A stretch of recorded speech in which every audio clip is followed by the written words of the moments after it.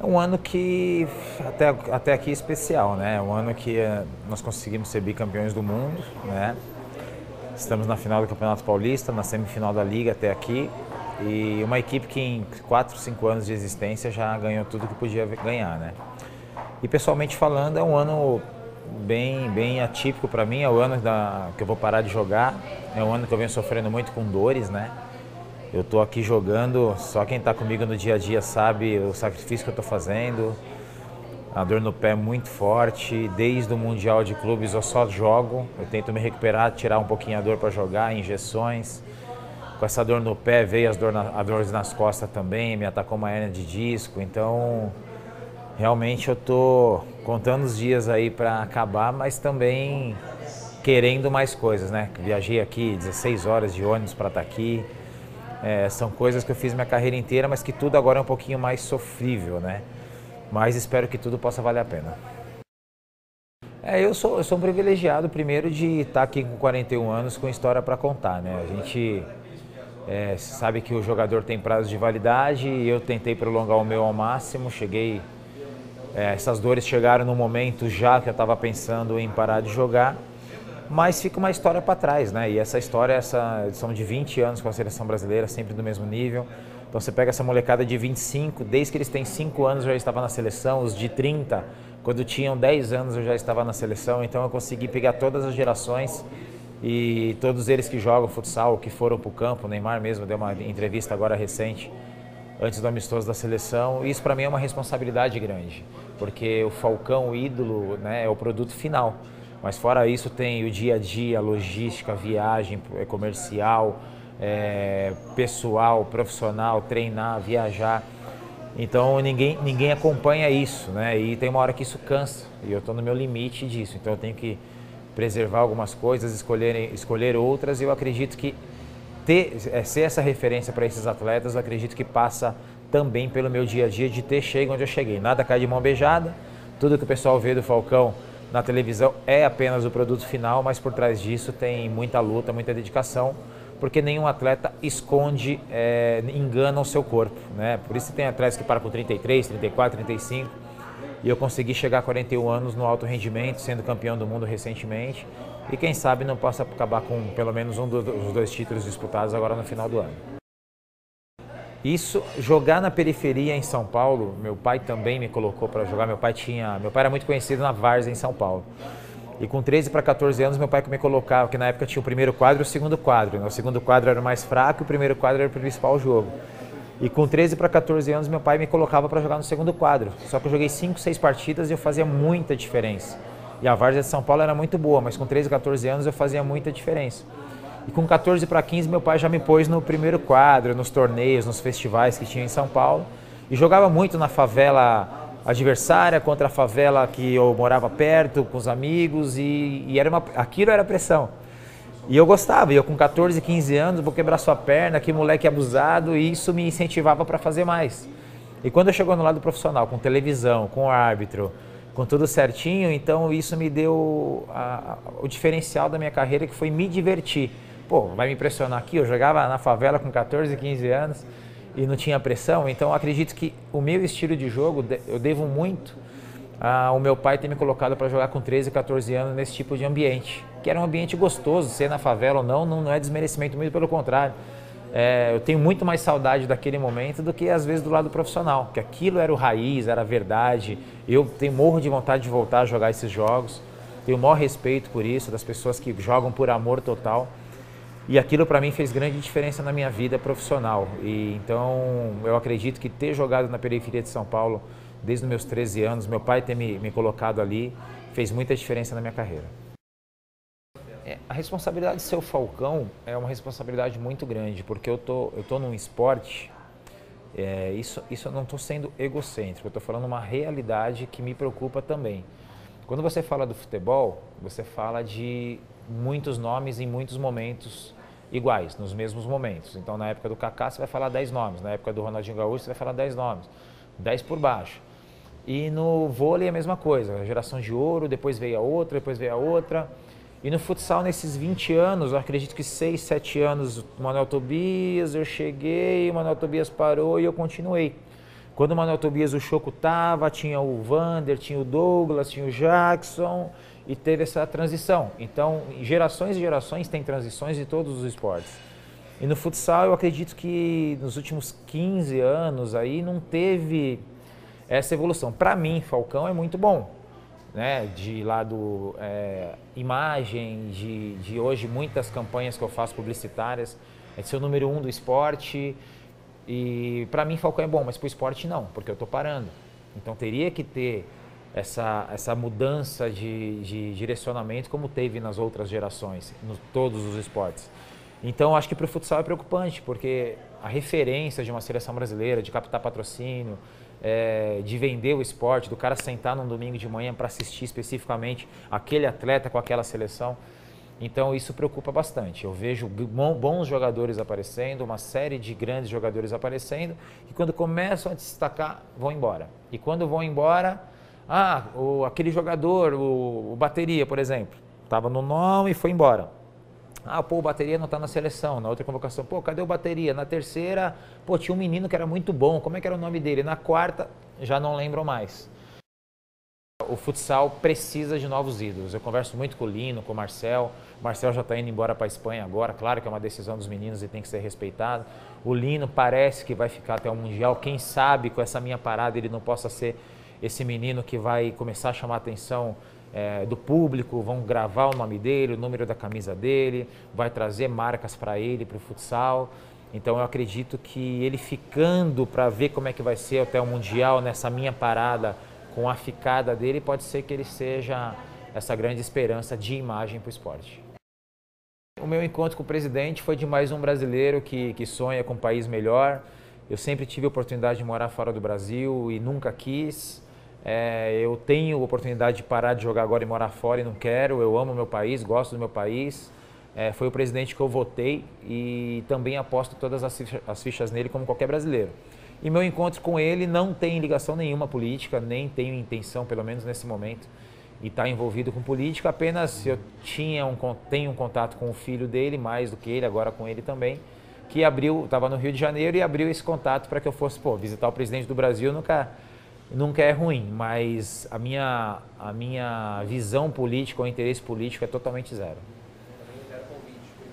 Não, não, conversamos no geral, perguntei do esporte, ele falou que quer ver a relação com, com como é Estados Unidos, que é junto com, com a educação, embora, claro, os Estados Unidos tenham uma estrutura muito melhor para que isso aconteça, mas não tem interesse político nenhum. Então eu acredito que são números que são inquestionáveis. São 258 jogos com 401 gols. Até comparando com os grandes ídolos do esporte, Manuel Tobias, que foi um monstro, eu acho que são 134 gols a mais. Ele tem 267, é muita diferença.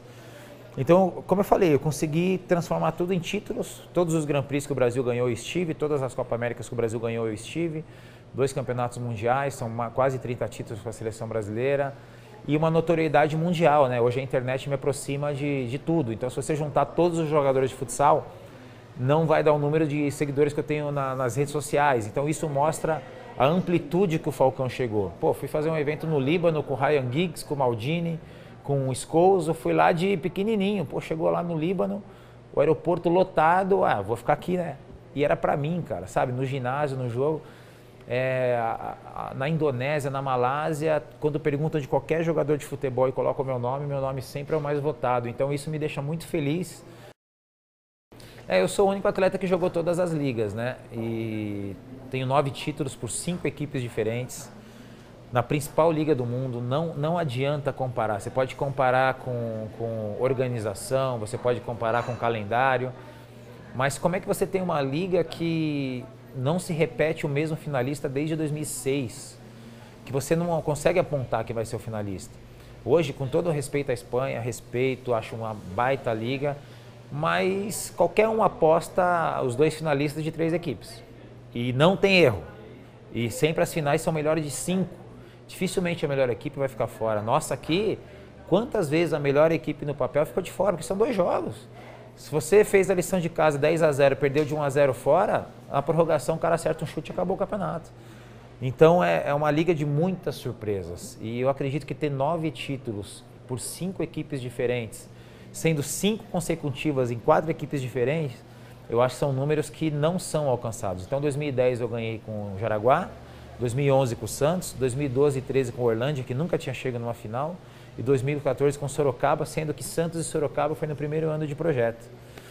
Então eu acredito que esses dados são, são incomparáveis e jamais vão, eu posso afirmar que jamais ou dificilmente vai ser alcançado.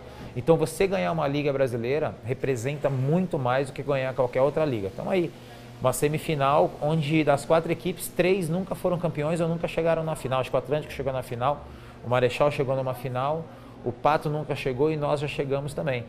Então tem apenas um campeão de quatro semifinalistas. Então quem ganha a Liga Brasileira realmente tem que comemorar muito, porque tem que suar muito para ser campeão.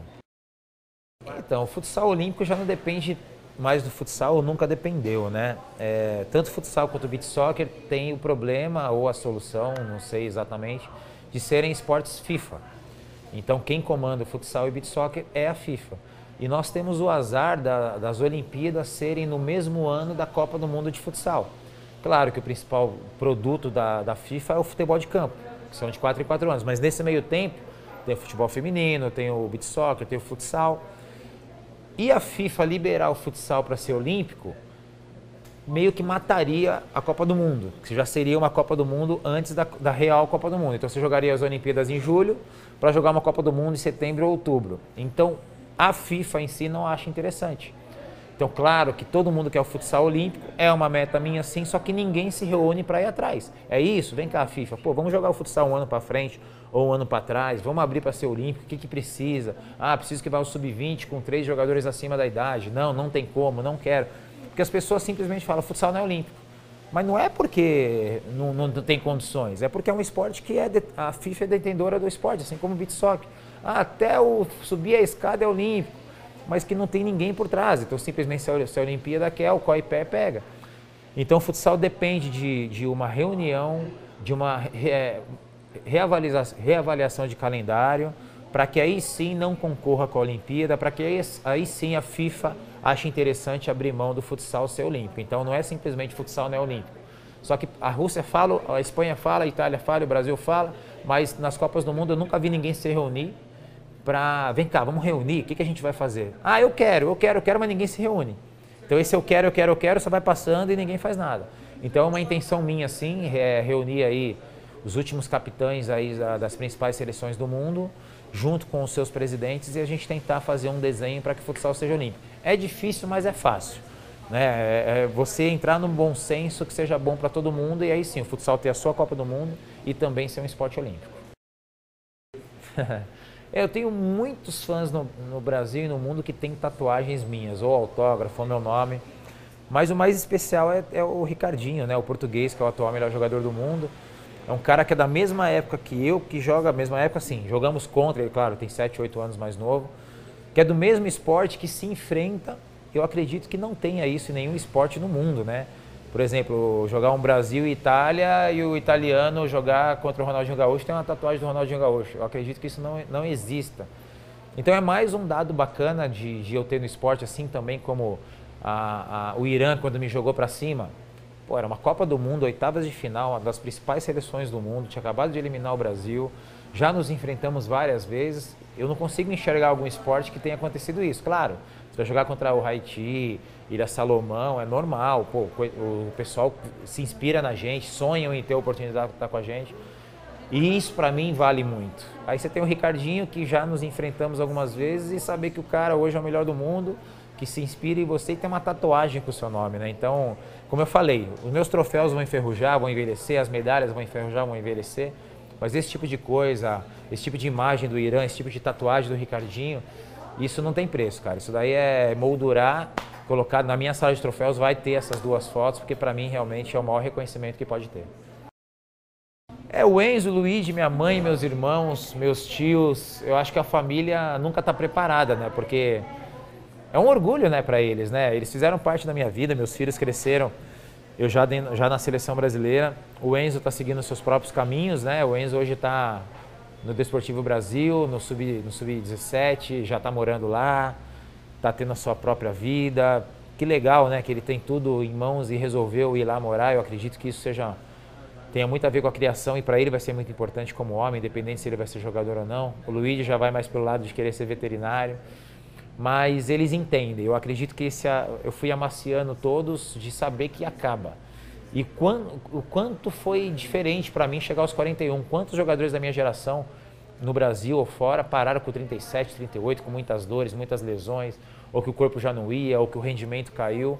E eu cheguei com 41 anos, cara. E agora, três meses atrás, sendo campeão do mundo de clubes e com duas competições em aberto ainda, né? Então, eu sou um privilegiado, sempre coloquei isso para eles. E eu acredito que todos eles entendem. Realmente, eles sabem que eu mereço descansar e chegou o momento.